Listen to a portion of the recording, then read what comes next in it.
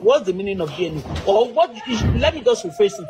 What is your understanding of DNA? What do you understand, particularly? DNA, DNA, DNA, DNA, number one, DNA is when you have, you're married or you're having intimacy outside of your wedlock, or you and your boyfriend is in the house, you having intimacy outside, and you get pregnant between your husband or your boyfriend outside, you go do it, and um, fortunately, the baby is not for the husband, and then the baby turned out to be somebody from outside, or something happened in the house of it, and they want to do the DNA and find a fingerprint where people will be involved into that fingerprint, and the DNA can tell from that fingerprint. I'm done.